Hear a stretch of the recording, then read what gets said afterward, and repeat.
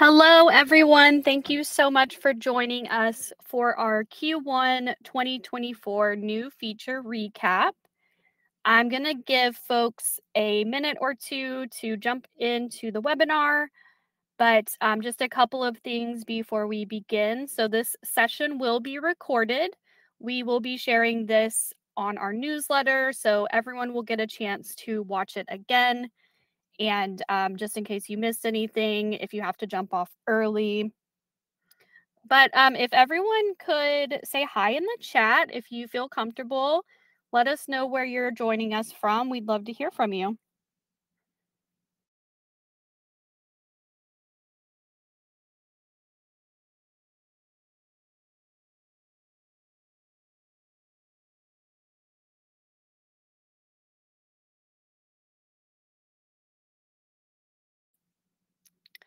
Awesome. We got some folks coming in. Marie from Florida, Tammy, South Carolina.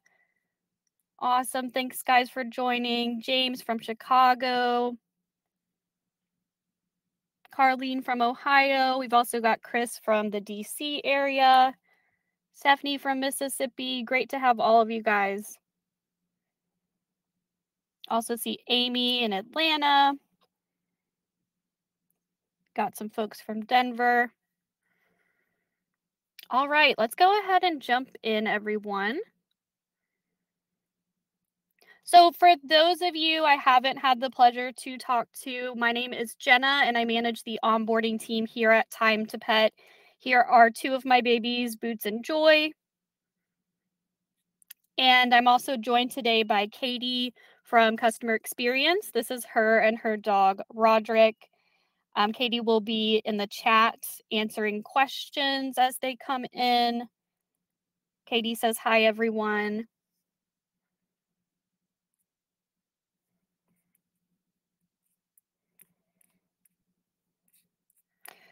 So, we're consistently updating the software based on our customer feedback. We have a running feature request list that we review with our team on a bi weekly basis. So if you have feedback or feature requests you'd like to share with us, please don't hesitate to reach out to us at support at timetopet.com.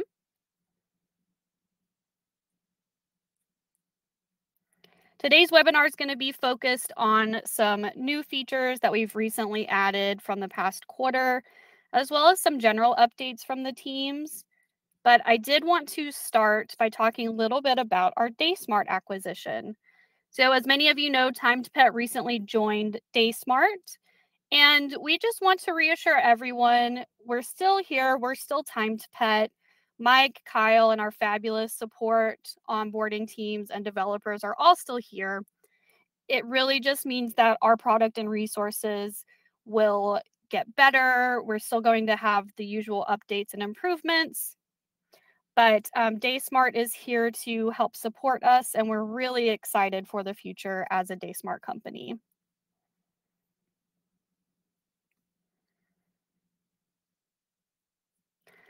All right, so jumping into some feature updates, I wanted to start with a couple of things that you can expect to be rolled out here soon.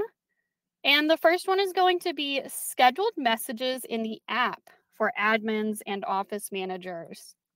So this will be really great for those two roles when you're out in the field and you need to schedule a message to send at a later date and time. So you can expect this to roll out sometime in the next week. So you will see that update in the mobile app. I also wanted to mention an update to our pricing. So a new pricing plan that's going to be a scaled down version of Time to Pet. So we will have that available for customers just getting started in the industry, and it will be at a lower price point for folks that uh, may not need as many features as the current version of Time to Pet has.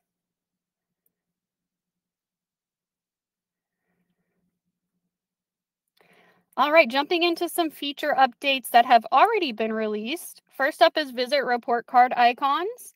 We have 122 new and updated visit report icons available in the mobile app section under settings and your visit report cards tab.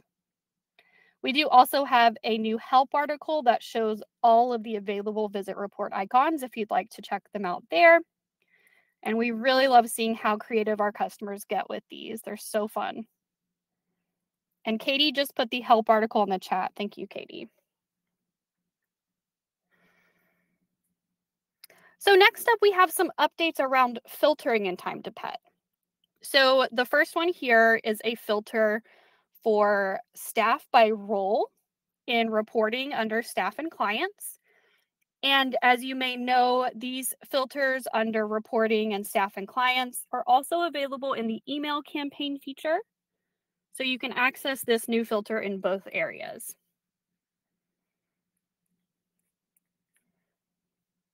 Next up, some filtering options in the client subscriptions tab. So when you are on a staff member's profile under their settings, you have the option to go into their client subscriptions. And these can be enabled and disabled. You can also turn off access for certain clients. And we now have some better filtering available here to pull up staff based on the criteria you see listed here.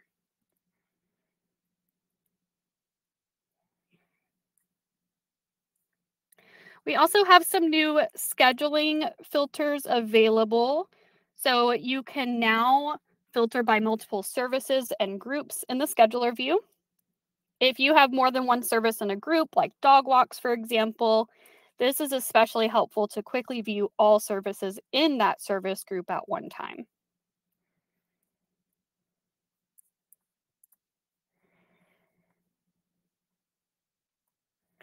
Next up, some tipping filters are now available. So the filter options you have to choose between are show all tips, invoices with due dates between, invoices with date between, invoices with first event between, invoices with last event between, and payment received between.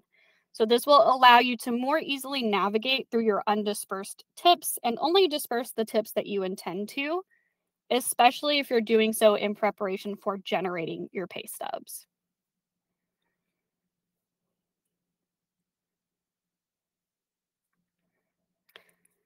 So next up is a new update to the pet parent onboarding tool. So this is the tool that um, allows your clients to walk through their onboarding process in a very user-friendly way. We walk them through signing your agreement, adding their info, downloading the mobile app.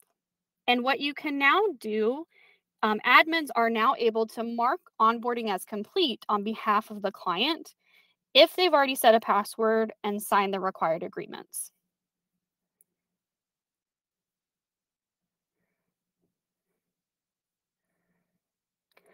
Next up is an update in the staff permissions area of your settings we have a new permission letting companies decide whether or not office managers can access the history tab of a client's profile so that they can see details about certain client actions if needed.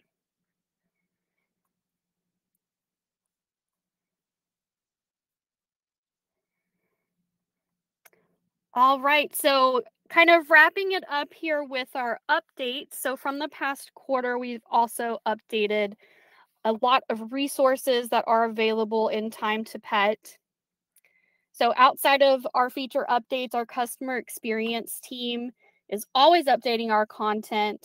In case you missed it, we have a new blog called Time to Pet by the Numbers. And this blog showcases some of the incredible data that we saw at Time to Pet from our customers last year. You're also going to notice that our Time to Pet brand page, our free tools page, and our ebooks on our website have fresh looks and updated images. And finally, we have a very helpful blog we recently released all about our best practices for office managers, for companies that have office staff and need some tips and best practices on managing their permissions. Katie is adding some links in the chat to our free tools page, our brand page and some other resources we've listed here. So check those out. We are always updating our content and Um, you'll be notified when we release our product updates. You'll always see those in your dashboard, and you'll get a link to the blog where you can view the latest at Time to Pet.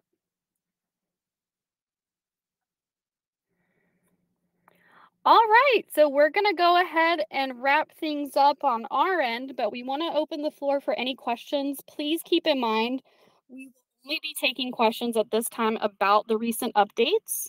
So if you do have a question related to something in your account, please send it to support at timetopet.com and we would be happy to help you there. Our support team is still available today.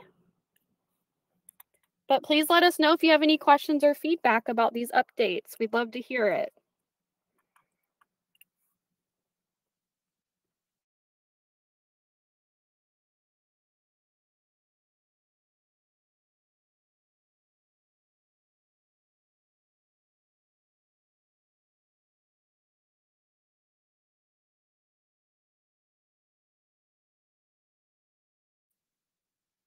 Hey, Krista. So Krista had a question about a new feature um, to create estimates before adding to the schedule, and that is not currently something that we're developing, but we can get your vote added to the feature request list for that, Krista, if you can reach out to us at support at timetopet.com. That would be super helpful.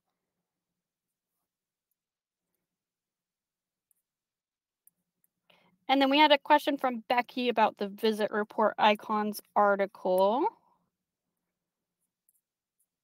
So that article, Becky, that is to show what all of the visit report icons are. Um, but we can also direct you to where to actually set those up.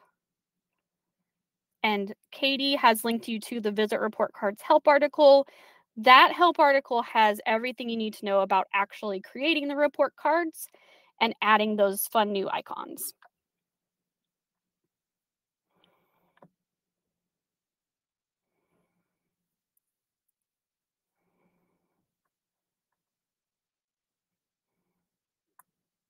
Hey, Crystal, that is a really great feature request. It's one that we've gotten from um, a lot of our customers, and it's one we are definitely keeping track of and is on our radar. Um, guys, if you have requests for features that weren't talked about in this webinar, please send those to support at timetopet.com as well. That is the best way for us to keep track of these. And unfortunately, we can't keep track of everything in the webinar today. So really appreciate if you guys could reach out to our support channel with those.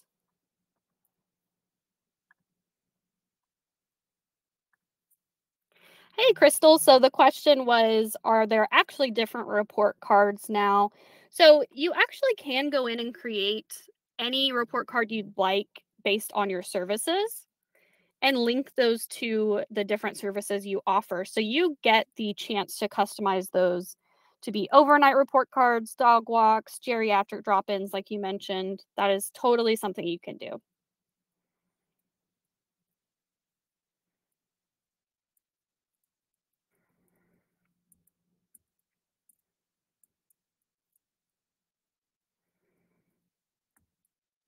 There is, Crystal. So Katie linked that visit report card help article. If you scroll up just a little bit, um, that help article will walk you through exactly how to set those up and link them to your services.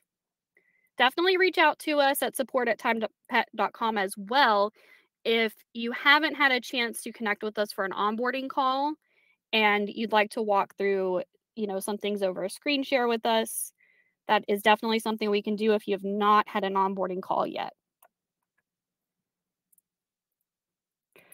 All right, guys, we're going to go ahead and wrap it up today. We really appreciate your time. Thanks for joining us. These feature updates come from your feedback, and we truly appreciate each and every one of you. Please go ahead and send any other questions or feature requests to support at timetopet.com. We will answer you there. Thanks again for joining us. Everyone, take care.